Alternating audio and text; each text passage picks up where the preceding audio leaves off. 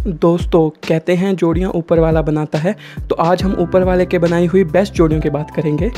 तो जो पहली सबसे बेस्ट जोड़ी है, वो है शाहिद कपूर और मीरा राजपूत की। इन्होंने 2015 में शादी की थी और ये जोड़ी एक दूसरे के साथ बहुत प्यारी लगती है और ये हमेशा लाइमलाइट में एक साथ नज़र आते हैं। और जो दूसरी जोड़ी है वो है शाहरुख खान और गौरी खान की। इनकी शादी को 30 साल हो गए हैं, लेकिन आज भी देखो तो ऐसा लगता है जैसे न्यू कपल हो।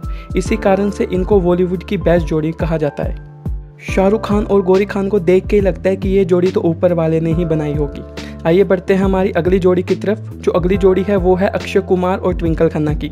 बॉलीवुड के खिलाड़ी और उनकी खूबसूरत वाइफ को कौन नहीं जानता, जो एक दूसरे के साथ इतने अच्छे लगते हैं कि बॉलीवुड के नए कपल्स इनको देख के जल जाते हैं। बल्कि कुछ एक्टर तो ऐसे हैं जिन्होंने ये कहा हुआ है कि जोड़ी हो तो अक्षय कुमार और ट्विंकल खन्ना जैसी हो।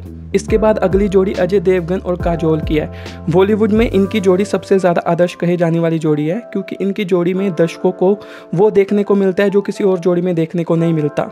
इनकी जोड़ी तो इतनी प्यारी है कि दोनों किसी भी अवार्ड फ़ंक्शन में एक साथ ही देखे जाते हैं। जो अगली और लास्ट जोड़ी है, वो है विक्की कौशल और कटरीना कैफ। बॉलीवुड में न्यूली कपल विक्की कौशल और कटरीना कैफ हैं। इनमें पाँच साल का एज डिफरेंस है, फिर भी इस जोड़ी में बेशुमार प्यार देखने को मिलता है। ये है हमारे बॉलीवुड की बेस्ट जोड़ियाँ। मानो या ना मानो, ये बॉलीवुड की सबसे बेस्ट जोड़ी हैं। और इनमें से कौन सी जोड़ी आपको सबसे ज़्यादा पसंद है, आप अपनी राय कमेंट करके मुझे बताइएगा।